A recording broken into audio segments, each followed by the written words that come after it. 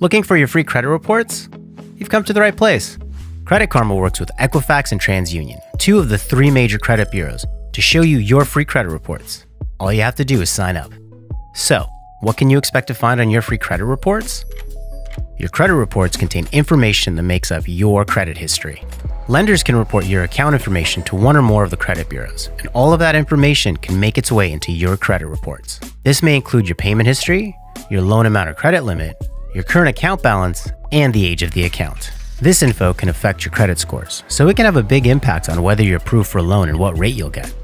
Your reports are updated frequently, and you can check them as often as you like with no impact on your credit scores. Now that you know what you can expect to find on your reports, you can get familiar with the factors that impact your credit. Credit Karma. Progress starts here.